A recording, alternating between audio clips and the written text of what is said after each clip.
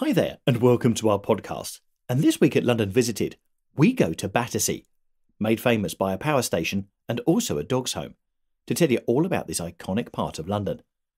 My name is Steve, and each week I will bring to you the facts, history, and information about different parts of this great capital. If you've been to London, are planning on visiting, live here, or just love London from afar, then this is the podcast for you. Don't forget to visit our YouTube channel, London Visited to see videos covering this place and so many others across London. And now to this week's podcast. Battersea is a large district of southwest London, in the London borough of Wandsworth. It is centred 3.5 miles southwest of Charing Cross and extends along a curve that includes a west bank on the south bank of the London reaches of the Thames. It includes Battersea Park, a 200 acre northern rectangle by the Thames. The ancient parish turned district has remained only in a few non administrative terms in a part of Surrey since 1889, when the County of London began and became the administrative county. Among these terms are mainly traditional sports, most especially county cricket. Battersea was for many centuries, since the 9th century, centred on many of its cottages, which stood by the then founded St Mary's Church. This hub stood in the High Middle Ages, such as four centuries later, on a dike drained set of fields near the mouth of the Falcon Brook.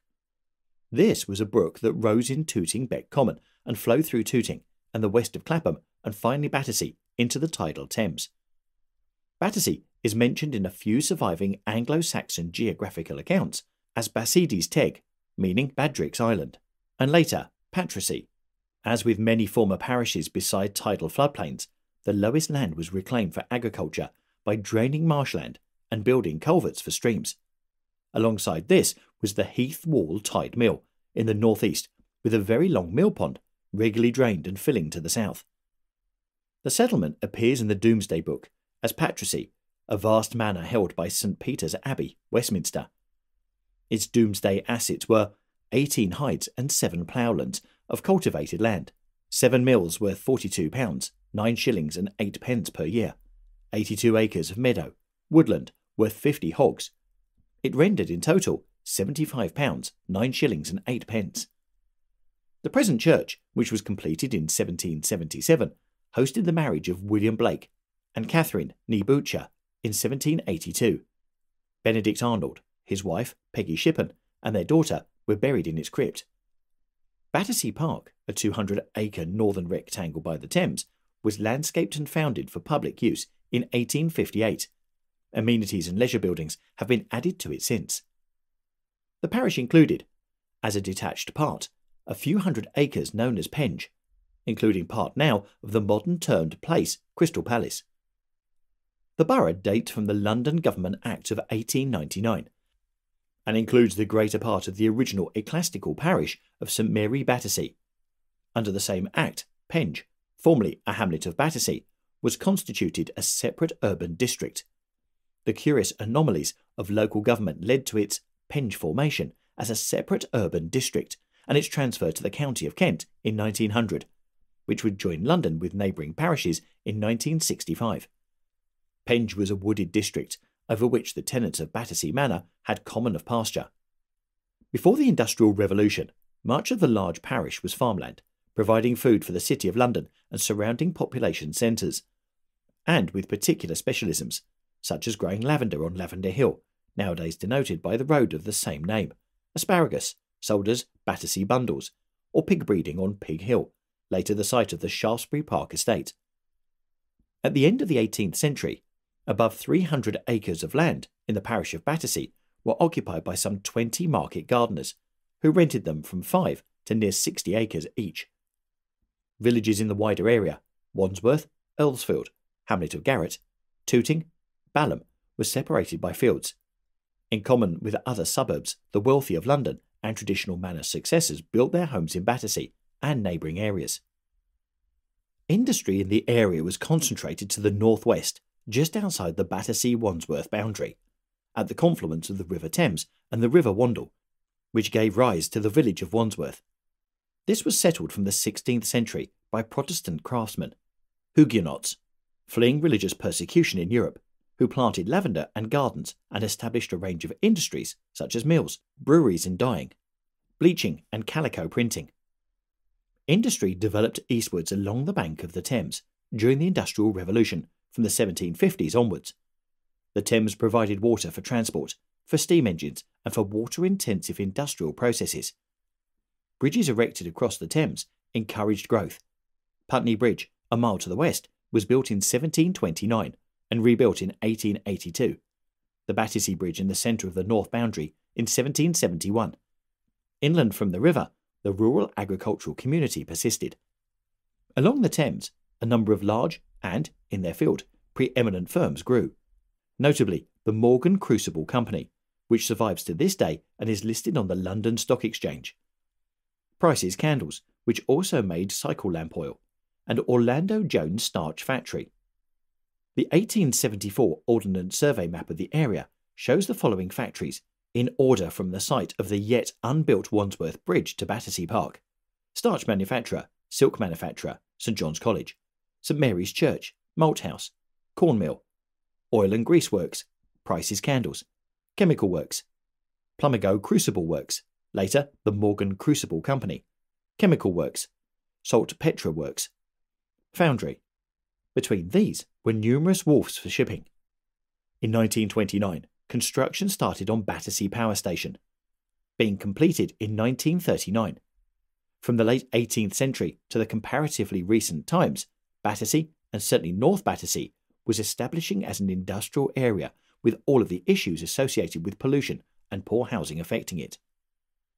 Industry declined and moved away from the area in the 1970s, and local government sought to address chronic post war housing problems with large scale clearances and the establishment of planned housing. Some decades after the end of large scale local industry, resurgent demand among magnates and other high income earners for parkside and riverside property close to planned underground links has led to significant construction. Factories have been demolished and replaced with modern apartment buildings. Some of the council owned properties have been sold off, and several traditional working men's pubs have become more fashionable bistros. Battersea neighbourhoods close to the railway have some of the most deprived local authority housing in the borough of Wandsworth, in an area which saw condemned slums after their erection in the Victorian era. Battersea was radically altered by the coming of railways. London and Southampton Railway Company engineered their railway line from east to west through Battersea in 1838, terminating at the original Nine Elms railway station at the northeast tip of the area. Over the next 22 years, five other lines were built, across which all trains from London's Waterloo and Victoria termini would, as today, travel. An interchange station was built in 1863 towards the northwest of the area, at a junction of the railway.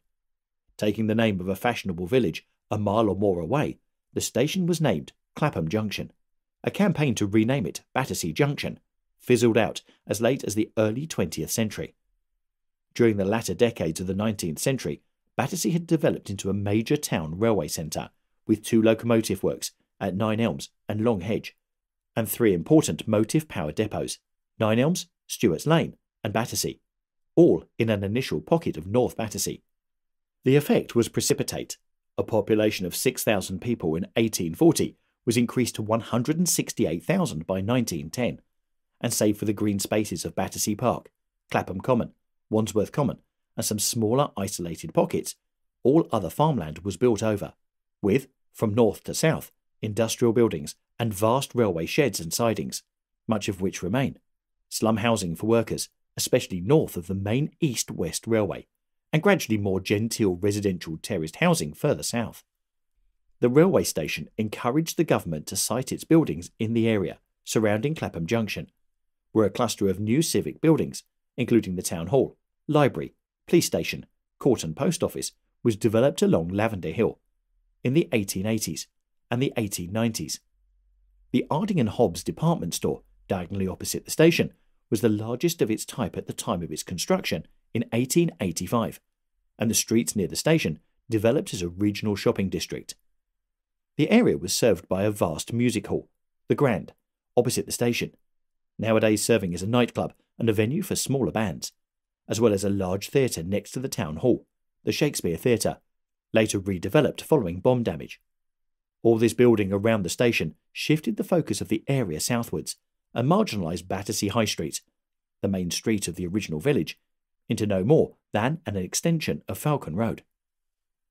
Battersea has a long and varied history of social housing, and the completion of the Shaftesbury Park estate in 1877 was one of the earliest in London or the UK.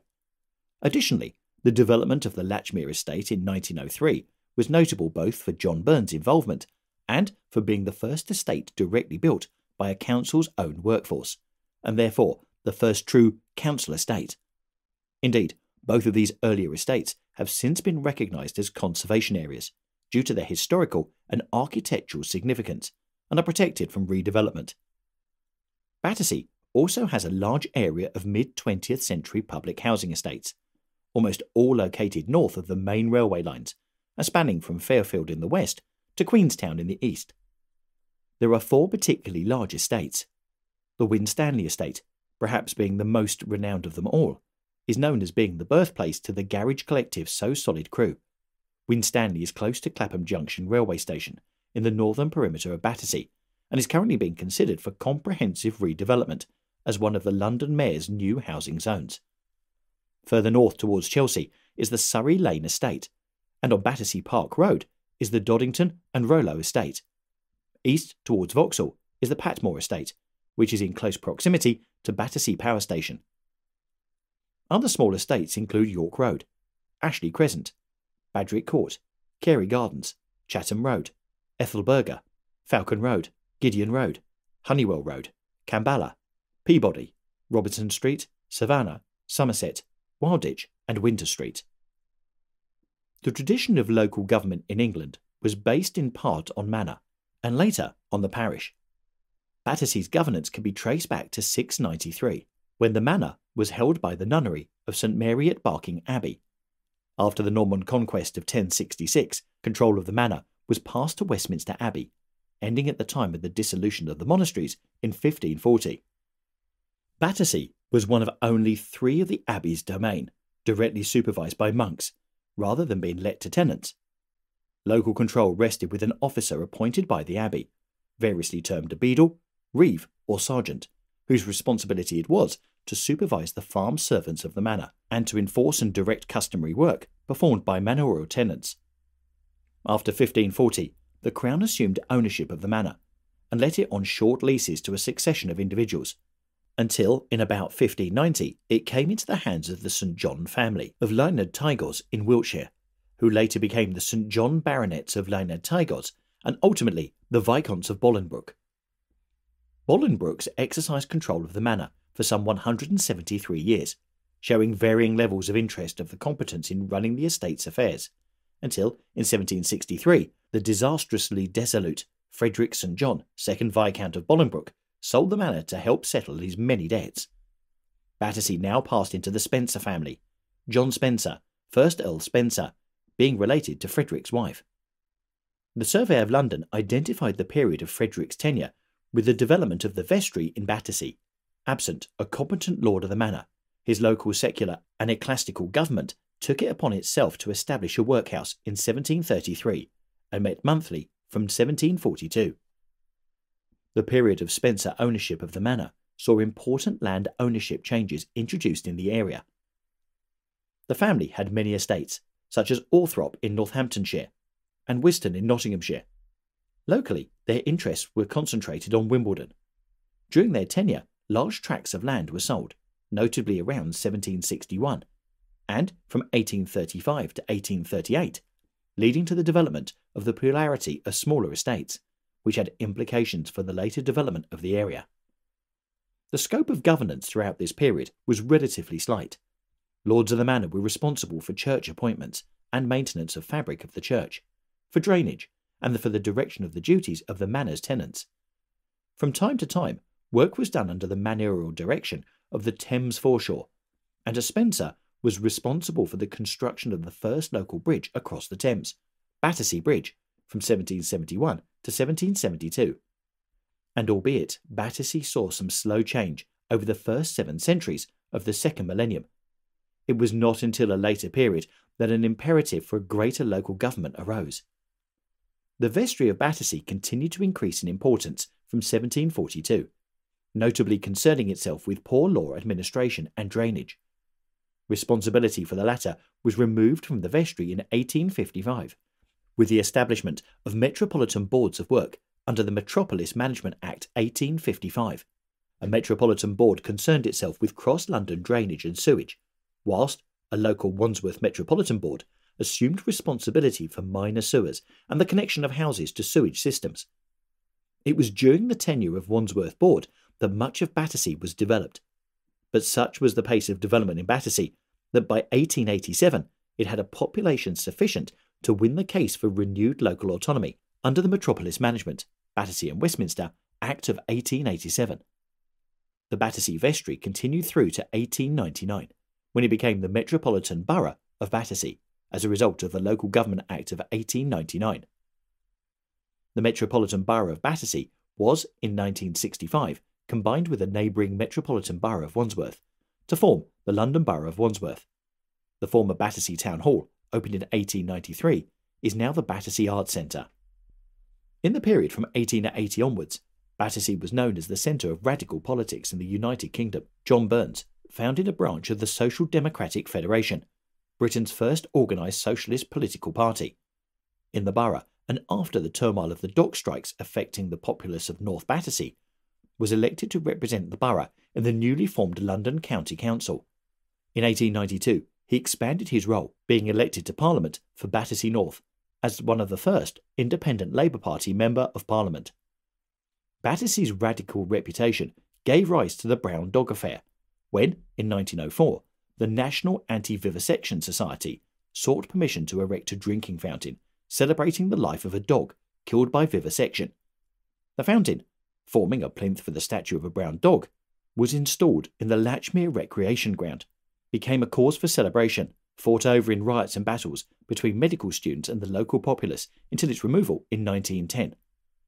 The borough elected the first black mayor in London in 1913 when John Archer took office, and in 1922 elected a Bombay born Communist Party member as MP for Battersea, one of the only two Communist members of Parliament. Battersea is a large part of outer, central London on a curved south bank of the River Thames. Battersea's northern limit is thus the Tideway, the Thames below Teddington, proceeding eastwards along the river at Battersea on an ebb tide. It has just ended a curve east. It runs north and about twice as far east. At this end, it has a second apex, leaving Nine Elms at Battersea to run north, passing underneath Vauxhall. Some parts of Battersea have become known for drug dealing.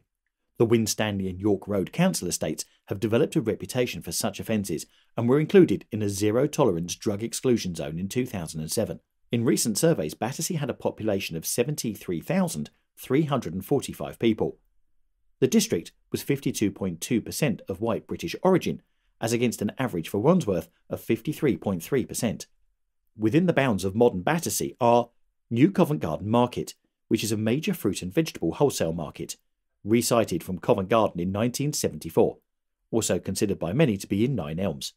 Battersea Power Station, an iconic edifice designed by Sir Giles Gilbert Scott, built between 1929 and 1939, featured with a flying pig on the sleeve art of Pink Floyd's album Animals. There have been a number of failed regeneration projects since the late 1980s, the current proposals are to convert the disused shell into a mass entertainment and commercial complex with dedicated transport links. These transport links are an extension of the Northern Line from Kennington and will be completed in 2021 and open shortly. And the current proposals to use the disused shell have actually been put in place, with many apartment blocks and also entertainment centres.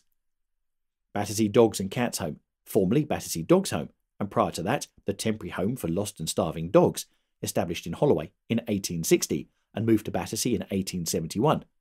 It is the UK's most famous refuge for stray dogs and also the main location for ITV's Paul O'Grady for the Love of Dogs. Battersea Park, a 200 acre green space laid out by Sir James Pennethorne between 1846 and 1864 and opened in 1858, and home to a zoo and the London Peace Pagoda.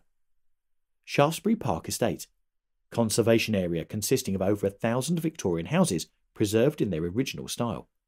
Battersea Arts Centre, in the former Battersea Town Hall, Clapham Junction Railway Station, by at least one measure, passenger interchanges, the busiest station in the UK and named after the neighbouring town of Clapham, although it lays in the geographical heart of Battersea. St Mary's Church, Battersea. Benedict Arnold is buried here. Four stained glass windows celebrate Arnold, William Blake, William Curtis, and J. M. W. Turner. The Sir Walter St John's School, now Thomas's Day School, was founded in 1700. Parts of the present building date back to 1859. The London Heliport, London's busiest heliport, sited on the Thames, half a mile north of Clapham Junction Station. So I hope you've enjoyed our look at Battersea, and as you can see through history, it has gone through a variety of different changes. It's also interesting to see that the regeneration that is in place now will see a new underground station reaching Battersea very, very shortly, making it even easier to get out there. So we look forward to that opening very, very shortly on the Northern Line. Whatever podcast service you use to listen to this, please do subscribe to get updates on new shows, and also please do leave us some feedback. Please also let me know any places you'd like us to feature in future podcasts, and you can let me know through our website www.londonvisited.co.uk. You can email me directly on londonvisited at gmail.com, or you can contact us on Twitter and Instagram on at londonvisited, or alternatively on Facebook on at The London Visited. Thanks very much for listening. Really hope you enjoyed our podcast, and we'll see you very soon on the next one. Bye.